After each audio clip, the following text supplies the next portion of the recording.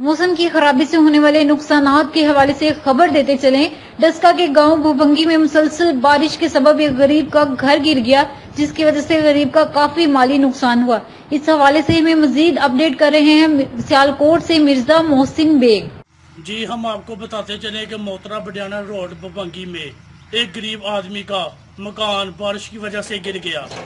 आइए बुज़ुर्गों से जानते हैं उनके जो नुकसान हुए हैं।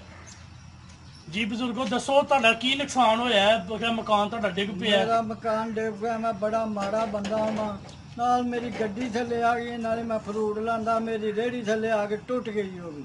ਬਜ਼ੁਰਗਾਂ ਦਾ ਕਹਿਣਾ ਹੈ, ਸਾਡੀ ਰੇੜੀ ਥੱਲੇ ਆ ਗਈ ਹੈ ਠੀਕ ਹੈ ਤੇ ਮੈਂ ਫਲ ਫਲੂਟ ਲਾਣਾ ਹਾਂ ਮਾੜਾ ਬੰਦਾ ਹਾਂ।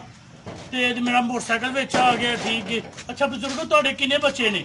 ਮੇਰੇ ਦੋ ਬੱਚੇ ਨੇ ਇੱਕ ਮੇਰਾ ਬੱਚਾ ਪਾਗਲ ਹੈ ਤੇ ਇੱਕ ਮੇਰਾ ਬੱਚਾ ਸਹੀ ਹੈ। ਇਹ ਬਜ਼ੁਰਗਾਂ ਦਾ ਕਹਿਣਾ ਇੱਕ ਬੱਚਾ ਇਹਨਾਂ ਦਾ ਪਾਗਲ ਹੈ ਇੱਕ ਬੱਚਾ ਇਹਨਾਂ ਦਾ ਠੀਕ ਹੈਗਾ।